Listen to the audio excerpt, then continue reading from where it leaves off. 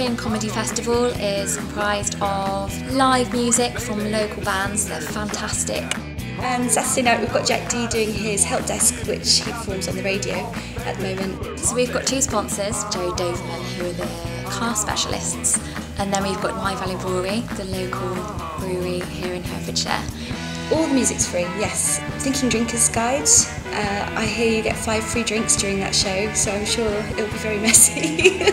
we give out five free drinks. There are jokes that people don't clap at, but that might be because they're holding a drink and it's difficult.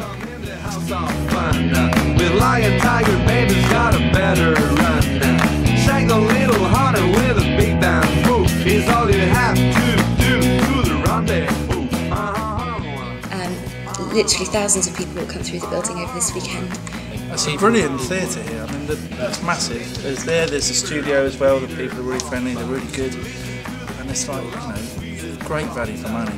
That's the good thing about comedy. It's not kind of just targeted at a young audience or older audience. Just everybody enjoys a laugh. There is no there is no show we've done without which doesn't end with without a standing ovation. So, on that many people can't be wrong. Or sober.